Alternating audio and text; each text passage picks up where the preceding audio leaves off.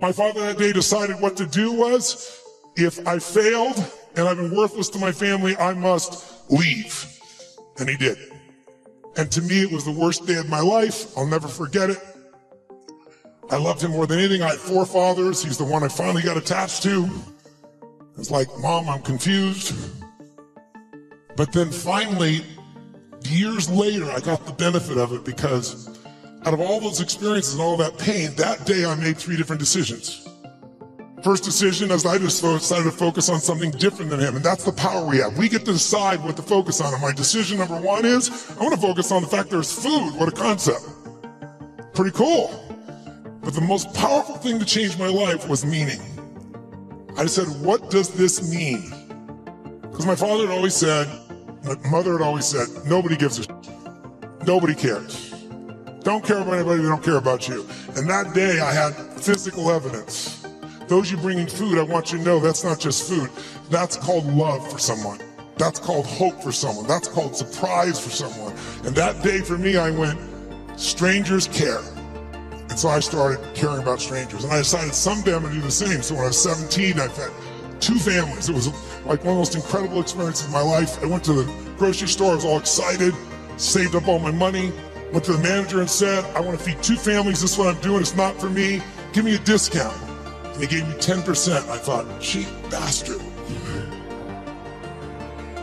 But I went out and I delivered this food, and ironically, um, I called this church and I asked in the barrio, particular place, where are some families in need? They gave me two names.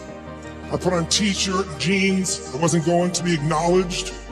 I also didn't want someone to be insulted because I saw what happened to my father. And I wrote a note, said, this is a note from a friend.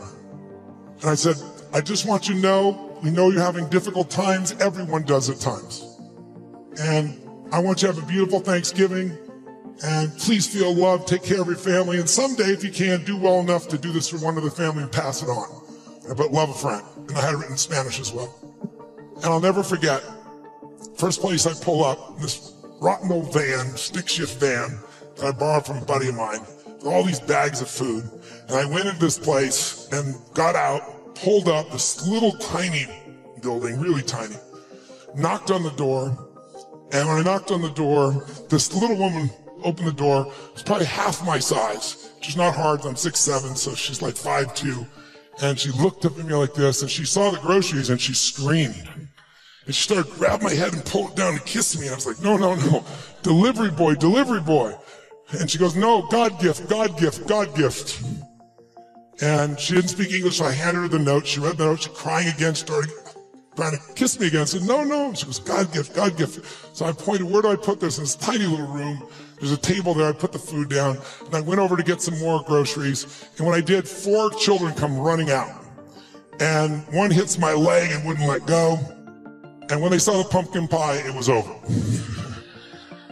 and it was one of the most emotional experiences of my life because first of all, this little boy just wouldn't let go. And I delivered this food and this woman was crying and smiling. And I stayed there just to take it in for a few minutes, seeing them all. It was like going back in time. And then as I went to go leave, I couldn't speak Spanish and she was like trying to say something in Spanish. I didn't know what to say and it was Thanksgiving. So I said, Feliz Navidad. I heard the song, okay? and she laughed and laughed. She's crying and laughing. One of the more beautiful experiences of life, isn't it? When you can have both those experiences in your body simultaneously. And I remember I got in the van and all the three, four kids were sitting on the, on the bench here and she's standing there waving and I pulled in, going reverse and I looked in the mirror and as I looked in the mirror, I saw these kids there and I saw mom crying and smiling still. And then I lost it. I started crying uncontrollably. And I'm like put, trying to put the thing in gear, the tears come through my eyes, and I thought to myself, what? I mean, this is a beautiful thing. Why am I crying? And then I realized what a gift that day was. I realized that my worst day of my life was my best day. And my goal for you, if you don't already have it, my guess is you've already done it, knowing where you are in your world today.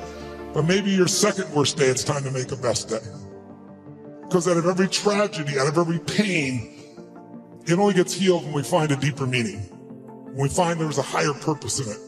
And I realized I wouldn't have been there that day. I wouldn't have that hunger to help somebody else if I hadn't had the hunger in my own soul at one point missing. So it's very personal to me. I want to thank all of you that made the contributions. And I told Mark and I've announced that I'm going to match the million meals if you hit it. And I'm sure as hell expecting that you will. And so we'll get two million. And when I told that, then Mark said, I'll match that. So in the mid 1980s, uh, a theologian named James Carse wrote this little book called Finite and Infinite Games, in which he defines these two kinds of games. Uh, finite games, which have known players, fixed rules, and agreed upon objectives. Football, right? There's always a beginning, a middle, and an end. Um, and the, object- the objective is to win the game. Um, and then there's infinite games. Infinite games are defined as known and unknown players. You don't necessarily know who all the other players are. Um, the rules are changeable. You can play however you want. Um, and the objective is to perpetuate the game, to stay in the game as long as possible. Um, what I find so fascinating about this idea when I first learned about it is we are players in multiple infinite games every day of our lives. There's no such thing as being the winner in your marriage, you know. Um, um, there's no such thing as winning global politics, and there's definitely no such thing as winning business. Um, business is an infinite game. Um, and yet, when we listen to the language of too many leaders, they talk about being number one, being the best, and beating their competition. Based on what? There's no agreed upon objectives, there's no agreed upon timeframes. And so what ends up happening is you have people building organizations and leading with a finite mindset, playing to win in a game where there's no such thing as winning. And when we play with a finite mindset in an infinite game, there's a few very predictable and consistent outcomes amongst which include the decline of trust, the decline of cooperation, uh, the decline of innovation, all of which contribute to the eventual demise of the organization itself. Um, and so what I wrote about is, is, is what it means to lead with an infinite mindset, because we teach leadership as if it were a finite game. Um, you know, people start business with the goal of winning, being number one, and, and that's a problem um, because that's impossible. Um, so what I wrote about in the game is, is leading with an infinite mindset. I want to start. So the book is great, by the way, and I really enjoyed it. It's a wonderful pick and mix, as they call it in the UK, of different topics where you're diving in, sometimes very quickly, and then other times a much more prolonged.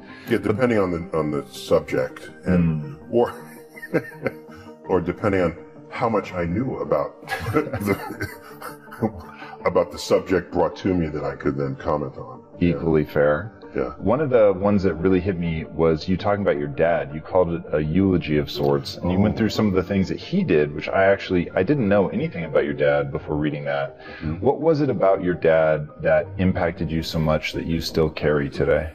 So it's not so much, oh, he's my dad. I love my dad. That's all true, but at the end of the day, what matters is for who and what you become in life. For me, at least, was uh, what level of wisdom did he glean in his life and then successfully communicate to me, either by example or by just explicit statement. And that combination of those two means of delivery had some important uh, impacts. Impact. See what I did there? impacts on my life. Uh, just for example, and I gave these examples in that that that eulogy was a letter to him during the memorial service. Uh, he died a couple of years ago at age 89, so it's not not a tragic death, but you still miss someone even though you know they're ready to check out. And uh, I'll just give one example, if I may. In high school, he was in gym class and they were lining up and they were about to enter the next athletic unit and it was track and field. And the gym instructor pointed to my father online and said, Cyril Tyson, everyone look at him. He does not have the body type that would excel in track. And they used him as an example. And he says, What? No one is going to tell me what I can't do in my life. And he used that as the reason to start running. He started track in that moment.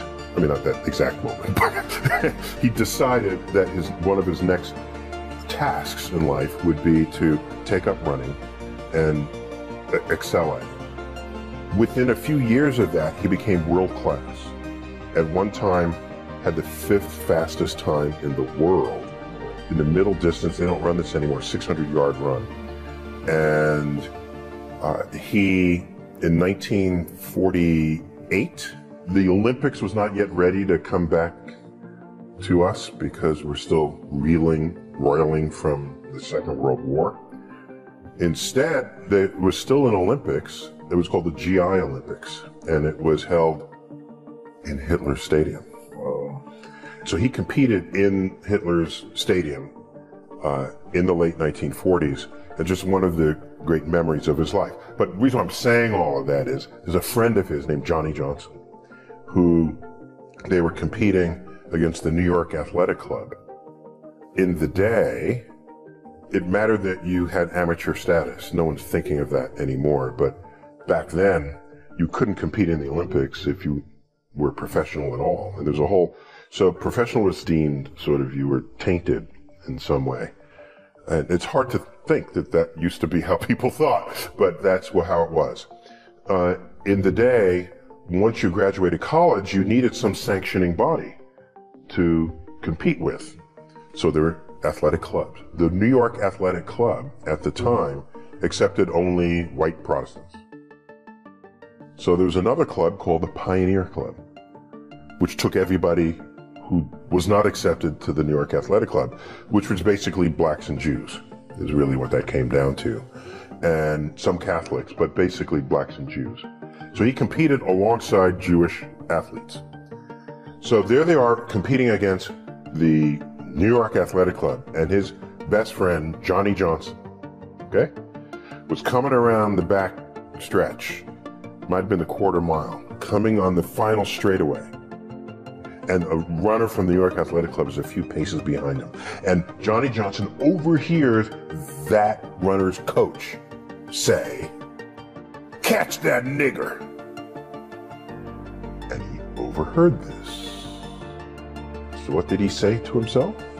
He said, this is one nigga he ain't gonna catch. and that extended his his his lead to the finish line. And he tells this story not with any bitter tone, as you might think. Any story like that today would certainly be um, told with with great remorse and consternation. So he never had that kind of tone when he shared those stories with us.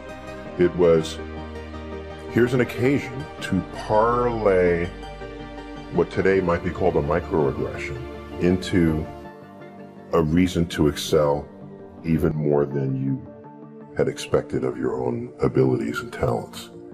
And so I have taken that lesson with me he was just telling a story. He didn't say, let me give my kids a lesson today. No, these are just things that happened in his life. And uh, in my sort of letter to him in death, I recount for the audience several of these examples and that among them.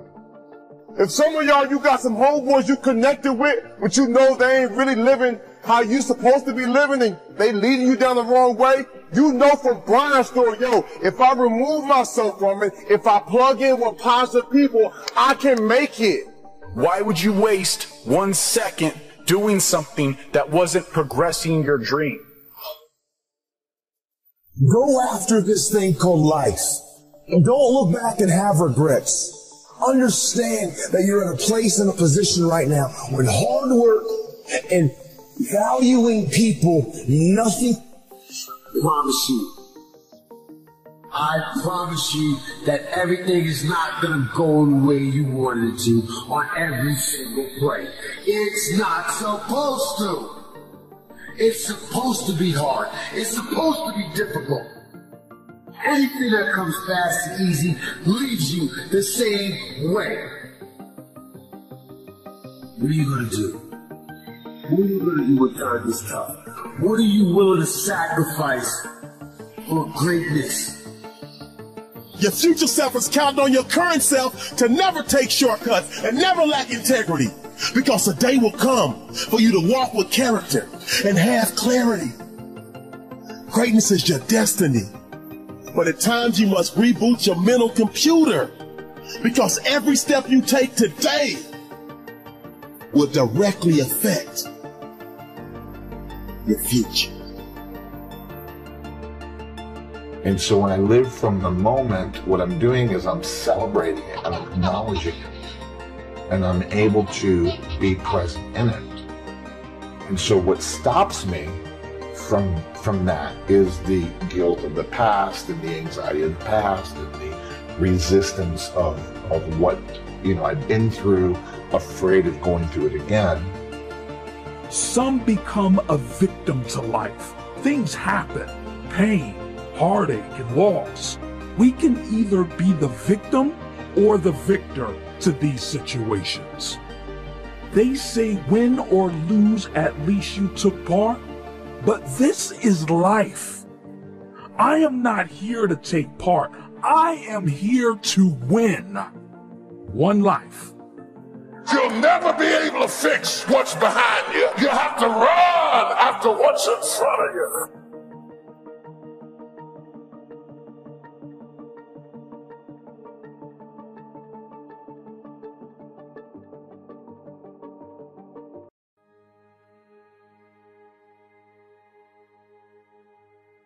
We're affected by how we feel. First, we're affected by what we know and the decisions we make. Second, we're affected by attitude, how we feel. And I gave that quick list. Let me give it to you. It's how you feel about the past. Got to have a good attitude about the past. Use it as a school, not a club. Don't beat yourself to death with your past. Faults, failures, losses. Let the past be a school. Harsh school, maybe. What else is new? Let the past be a school master to teach you.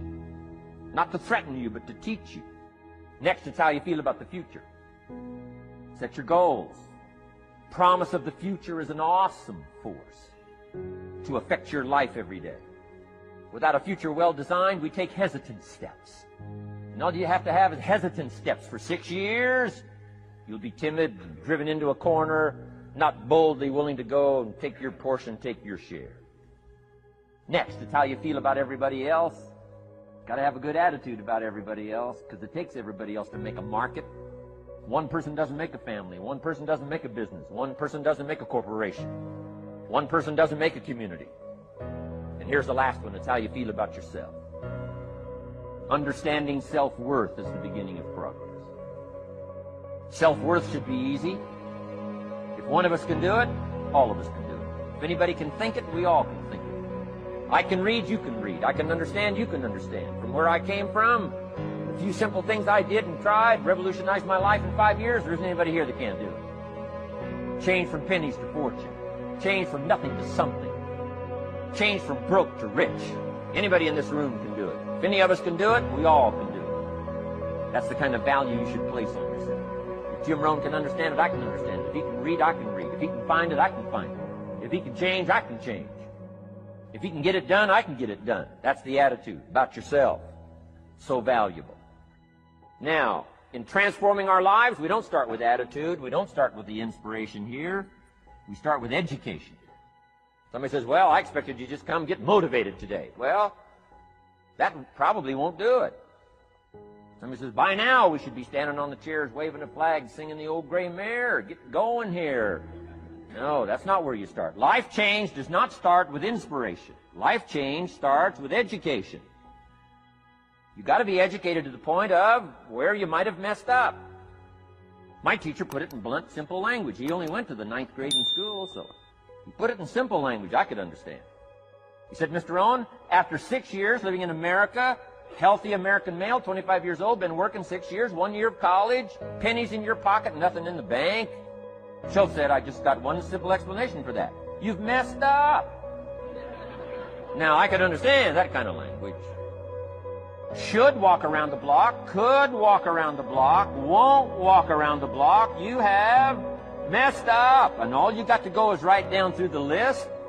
Don't need some teacher to come by and tell you. Be your own best teacher saying, hey, Let me make a list of some places I've messed up. Because if I let this down, let this down, that probably affects the rest, and the answer is that's true. So we don't start with inspiration, we start with education. Somebody says, well, just motivate this guy, he'll be all right. Just motivate him, get him turned on. Probably not. If a guy's an idiot, you motivate him, now you got a motivated idiot. No, he won't be all right. So we start with education. What's the first education? If it isn't going well and you live in America, you have messed up. You don't need to change countries. Activity. This is the work part, the labor part. Taking action. And the activity is the miracle working piece. A miracle being something we don't quite understand how it works doesn't mean it doesn't work. It means we just don't quite understand how it works. Miracles work. God says. Now, I'm an amateur on God, but here's my best analysis. God says. If you'll plant the seed, I'll make the tree. Now, that's a good arrangement. Number one, gives God the tough end of the deal. What if you had to make the tree? That'd keep you up late night trying to figure out how do you make a tree? Say, no. I'm telling you, the mystery and the miracle of this stuff has already been set up. God says, I got the miracle going. I got the seasons going. I got some sunshine and some rain, and I'm God. But the way I've arranged that, I just need somebody to plant the seed, not chant. In California, they're trying to chant to get this stuff done. Forget this California stuff. Don't have to rub a crystal and sleep under a pyramid. This stuff's too easy. Getting rich is too easy. Changing your life is too easy. Forget all that. Massive bombard, affirmation, forget all that. My opinion. Just simple, easy stuff. But if you neglect it, that's how it piles up year after year. You're willing to straighten it out. And here's one of the keys. Called activity. It's called disciplines. Turning wisdom from your philosophy and inspiration, the strengthening of attitude, faith, courage, commitment, all this stuff that comes from attitude. If you're willing to take these two qualities, philosophy and attitude, and invest it into activity, you can have a miracle. Anything short of that, no miracle. Wisdom doesn't perform a miracle. Attitude doesn't perform a miracle. The only thing that performs a miracle of increase called equity is called putting wisdom and attitude into discipline, into labor. And this labor now can perform a miracle. And here's the two parts to the labor. One, do what you can. Number two, do the best you can. Can't give you better advice than that. Number one, do what you can. You just got to go home and make a list after today. And here's the question to ask as you make this personal list. What am I not doing that would be easy to do? That could greatly change my health, my wealth? What am I not doing I'm neglecting that would be easy to do? Just go home and answer that question personally. You don't have to put the answers on a public bulletin board. This is just all personal stuff. Errors in judgment, disaster. Few simple disciplines, wealth beyond imagination. And if you'll pick up the activity part, the miracle working part, plant the seed part, take care of your part.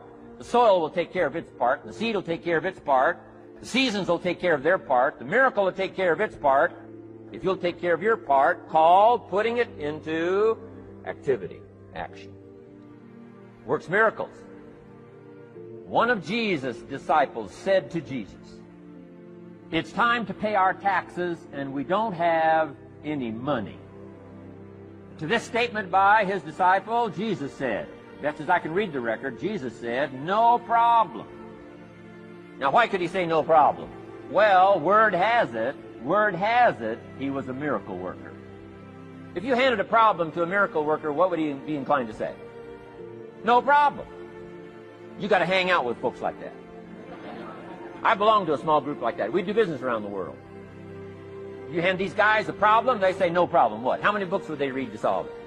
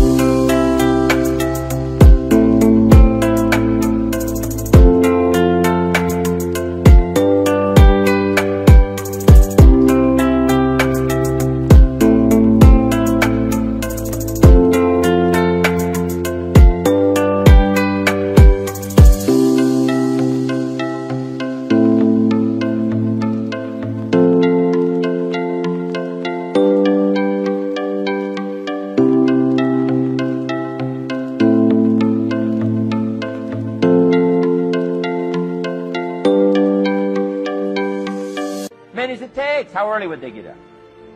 Early as it takes. How much information would they get? Much as they needed. So it's what? No problem. You got to hang out with folks like that. Jesus said, this will be no problem, the tax thing. He said to his disciple, it's simple. Go fishing. Wow. Now that was easy for this particular disciple. His name was Peter. And Peter was a fisherman. How clever. How clever. But here's the real problem. If you should fish, and you could fish, and you don't fish, you got no miracle. You could change, you should change, you won't change. That's called accumulated disaster. In six years, you'll be explaining instead of celebrating. Having some ragged list like I had, reasons for not doing well, pennies in my pocket. Could, should, don't, disaster. And if you'll just start the process of change, could, should, and will, you can start this whole process. And if you will, then put it into action, the miracle belongs to you.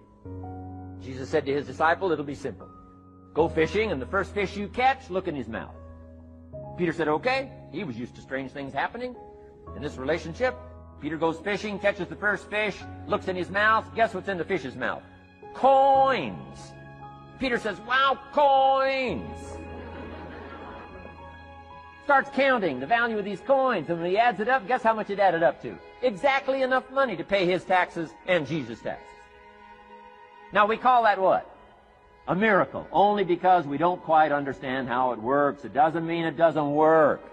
It simply means we don't quite understand how it works. But here's how you get a miracle going for your life. Number one, do what you can. Get a list of the stuff you could do, you haven't done, postponed, and start cleaning that up. You can't start at a better place for personal change. That'll affect your bank account, affect your future, affect your income, affect everything. You can't start.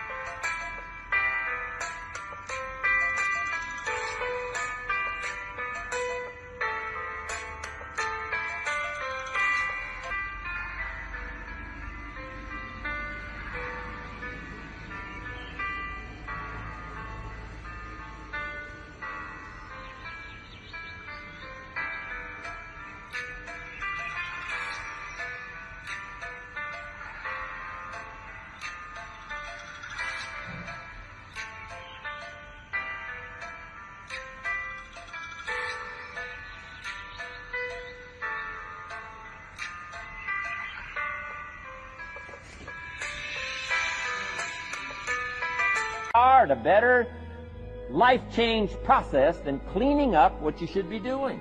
And don't walk like other people walk. Don't postpone like other people postpone. You don't need massive bombard pre-conscious subconscious. Practice channeling, find a 2,000 year gold guru. I mean, you don't need any of that stuff. Pass on all that. Kids are afraid of that stuff. This stuff's too easy. This stuff's too simple. Call, take action, number one, on neglect, on errors, in discipline. Number two, start setting up some disciplines. And if you'll do that, you'll perform a miracle. Now here's the second part of the miracle. Number one is do what you can. Here's number two, do the best you can. If that's not your philosophy, I would ask you to amend it. Let me give you the best of ancient script. Here's what it says. Whatever your hands find to do, do it with all your might, do it with all your strength, and do it with all your power. What a good philosophy. That kind of philosophy will revolutionize your life if you haven't picked it up lately.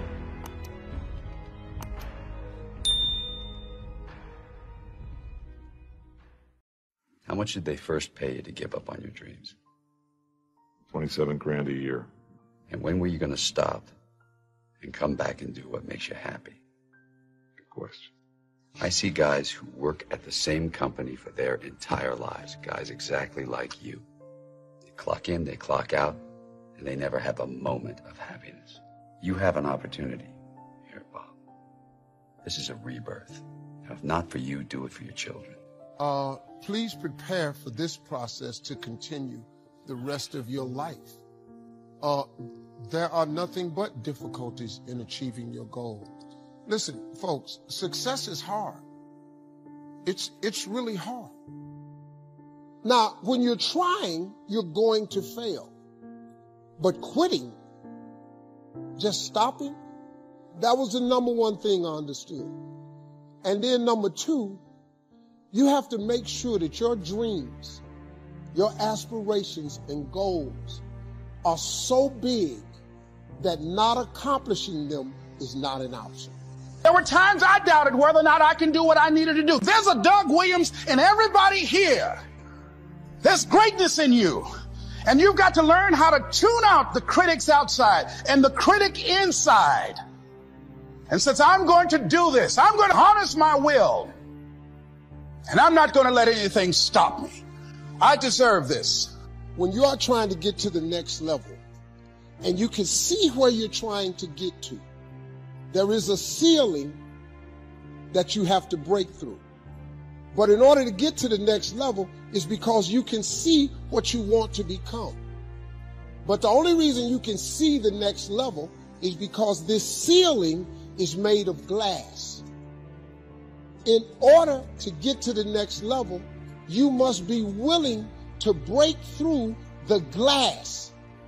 Anytime you break through glass, you are going to get cut. You are going to bleed. And in order to get to the next level, you are going to have to give up something that you care about. You cannot take everything with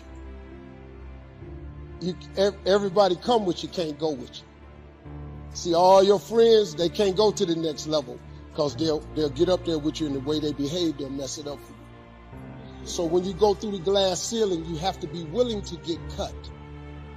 The cut is going to put some bruises and blood. But that's the only way to get to the next level. I understood that. I knew that I could not remain the same and, and, and change. You got to grow. You can't hang out with everybody you've been hanging out with to go to the next level. You can't do everything you used to do. If you do that, you'll never grow. You'll get scared sometimes. Your mind will go blank on you. Some people you will allow to unnerve you. And you wonder, what's wrong with me? I'm not crazy. That's why you've got to learn to make a conscious, deliberate, determined effort to stand up inside yourself. Working on yourself, watching that inner dialogue, it will determine the quality of your life. I don't believe this. I know this. I've had a challenge of losing weight. I'm walking through the airport, this voice say, why don't you have some M&M peanuts? No! Well, just one. When you're working on something you want to achieve, you have got to stand up to that voice. You've got to sell yourself every day on your abilities on what you're doing, on the goal that you want to reach. You've got to sell yourself every day, every day, every day. According to your level of belief, it will manifest itself in what you're doing. Whatever we have right now, whatever we're demonstrating in our lives, is a result of what we believe subconsciously that we deserve. I know from living that if you quit whatever you're trying to accomplish, if you quit, whatever you were trying to accomplish can never happen. There's not even a remote possibility. If you quit, there is no chance of it popping back up again, coming back later. Quitting is guaranteed failure. I don't know what that dream is that you have. I don't care how far fetched it might appear to be. I don't care how disappointing it might have been as you've been working toward that dream. But here's what I know that that dream that you're holding in your mind, that it's possible. Let's say that together, please. It's possible. See, sometimes we can't say, I can do that. But what we can say that it's possible that I can have my dream as we run toward it, as we work on it day in and day out. No one, ladies and gentlemen, could have convinced me when I started out just over six years ago working on my dream, and I want you to think about whatever your dream is. Because I was willing to take a chance, and most people won't do that. Most of the people that you talk to to try and bring them into the business, these are not risk takers. Most people have done all that they're ever going to do. They raise a family, they earn a living, and then they die. But people who are running toward their dreams, life has a special kind of meaning. And here's what I will share with you. That in the process of working on your dreams, you are going to incur, incur a lot of disappointment, a lot of failure, a lot of pain, a lot of setbacks, a lot of defeats. But in the process of doing that, you will discover some things about yourself that you don't know right now. What you will realize is that you have greatness within you. What you'll realize is that you're more powerful than you can ever begin to imagine. What you will realize is that you are greater than your circumstances, that you don't have to go through life being a victim. Negative is normal. It's not successful, but it's normal. It's part of life. You must learn to handle the negative. Don't ignore it. Handle it. Now, I know some people teach the other way. And listen to them. And listen to me. And then make up your own mind. Right? Don't be a follower. Be a student. But I say you got to handle the negative. You don't have to live in it. You don't have to dwell on it. But you do have to handle it, my opinion. Gratitude erases negativity. I'm going to show you how this works. If you wake up in the morning, you start having negative thoughts. Man, this ain't my day. I woke up on the wrong side of bed. I'm tripping. I just don't feel myself.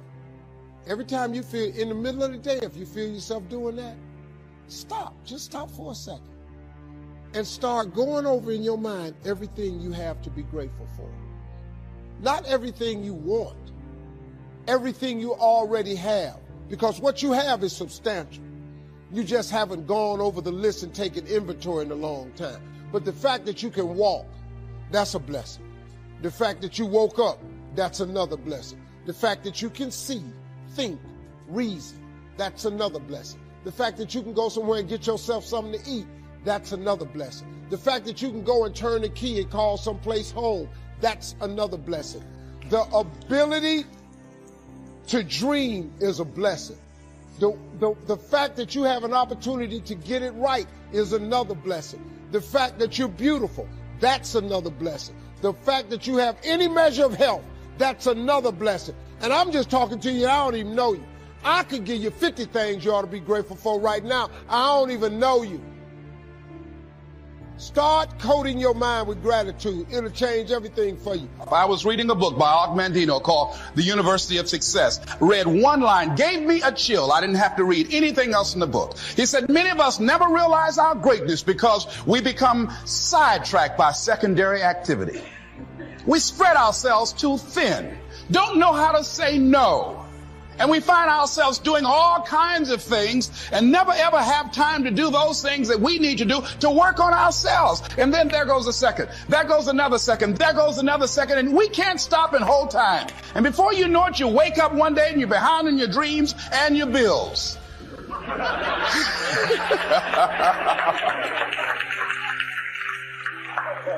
so decide that you're going to take some time to work on you, that you deserve that from yourself, that your life deserves some prime time because you are creating your own production. As Michael Todd would say, you are the star of your show. You are the director. You're writing the script. And you will determine whether your life is a smash office hit or flop. You determine that. Working on yourself, talking to yourself. That's so very important. Overcoming the negative conversation, that inner dialogue that's going on all the time, all the time. Even when you don't want it to be there. You can't stop yourself right now from thinking. You can't do it. It's going on. And so learning how to empower yourself, part of doing that is standing up to yourself. You've got to stand up inside yourself sometimes and say, shut up. You've got to do this. I was going to give a presentation, and this voice inside of me saying, You can't do this. You don't have everything it takes. I shut up. I'm behind on my bills, and you're telling me what I can't do. I have got to do it. And there is a war on. The minute you were born, you got involved in the war between good and evil, between darkness and light, between negative and positive, between evil and good, between tyranny and democracy, between weeds and human activity. I mean, the war is on. If democracy sleeps, guess who never sleeps? Tyranny. In the absence of light, guess what's automatic? Darkness. If good does not arouse itself and become active, guess what moves in? Evil. It's a war. A mental war, a physical war, a financial war, between enterprise and ease, between accomplishment and failure. It's a war. One of the things I have realized, and many of us have, that if you want something out of life, if you want to change yourself, if you want to acquire something, if there's some goal that you want to reach, that is really not easy as some people will make us feel that living your dream, changing your behaviors, overcoming negative habits, it's challenging. It's hard. That living alone is just very difficult. And once we begin to come to grips with the fact that living is difficult, life is very challenging. I heard a song once by a guy named Dimples called, If It Ain't One Thing, It's Another. I say to you, if it ain't one thing, it's 12 others. Always something. You will never ever have a problem free moment in life. Somebody said, and I like this, that you either in a problem or just left one or headed toward one. Anybody found that to be so? Raise your hand if you know what I'm talking about. I mean, there's always something. So how do we begin to nurture that hunger? What are the characteristics or the qualities of people that are hungry? What will it take for me to get some of the things that I want? And being hungry for those things. Number one, you've got to work on yourself. It's very important that you engage in an ongoing process to develop you. Spend more time on yourself than what you've been spending. It's very important. You owe that to yourself. The next thing that's important to know Yes, it's possible that you can choose your future and direct the course of your life as you run toward your dream. It's necessary that you have goals, that you write those goals down, that you plan, that you think constantly of how you can begin to improve what it is that you're doing. If it's your presentations, if it's your recruiting skills, whatever that is, it's also necessary that you look for ways to always find a way to pull it out when everybody else thinks that you are defeated. That you've got to take personal responsibility to know that in order to become successful, you've got to make it your personal business to do it. But the next thing, ladies and gentlemen, I want to share with you that some of you already know that it's hard. It's not easy. It's hard changing your life. It was hard when just over three years ago in the Penobscot building in Detroit, Michigan, where I was operating my business. And I fell on some hard times. And I was sleeping in my office. It was hard coming into the lobby and the security said, excuse me, Mr. Brown, can we see you for a moment? And I said, yes. And I walked up to the counter and he gave me an envelope. And he said, would you mind reading it here? And I opened the envelope and the envelope was from management that said, this is an office tower. It's not a hotel please do not sleep in your office. And I said, excuse me, sir. I said, I just work long hours in creating my business. I'm an entrepreneur. And right now things are bad for me, but they're not going to be this way always. And I just asked for the opportunity to continue to operate like I'm doing. I'm not trying to make this my home. And it was hard coming through the lobby. And sometimes they would laugh. There's a guy talking about becoming successful. And look at him. He's bathing in the bathroom upstairs on the 21st floor. He sleeps on the floor. Him and two other dreamers up there. Look at him. It was hard, ladies and gentlemen, coming to speak to people and I was facing financial difficulties in my own life.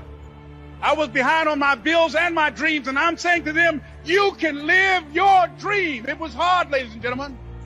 It was very difficult to pick myself up each day believing that I could do it. There were times that I doubted myself. I said, God, why, why is this happening to me? I'm just trying to take care of my children and my mother. I'm not trying to steal or rob from anybody. Why did this have to happen to me? It was very hard. And here's what I want to say to you. For those of you that have experienced some hardships, don't give up on your dream.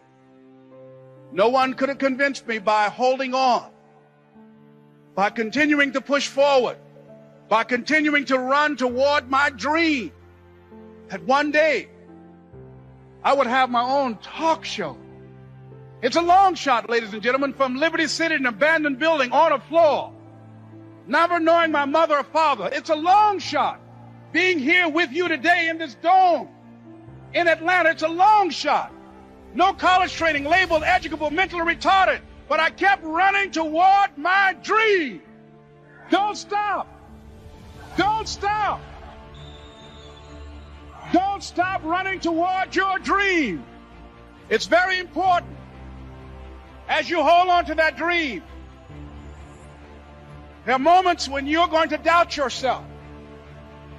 There are rough times are going to come, but they have not come to stay. They have come to pass. It's very important for you to know that. Don't say I'm having a bad day. Say I'm having a character building day. It's very important for you to believe that you are the one to make this happen. Myself, can I do this? And something said within me, you're the one. You're the one. And let me tell you something, ladies and gentlemen. While you're here, and before you go back home to your respective cities and communities, write down at least five reasons on why you deserve your dream, on why you won't give up, what's going to make you unstoppable, why you must be unreasonable, because logical, practical thinking says you can't do it today. But if you want to produce unreasonable results in your life, like living your dream and taking charge of your destiny, you've got to be an unreasonable person. You've got to be an uncommon person.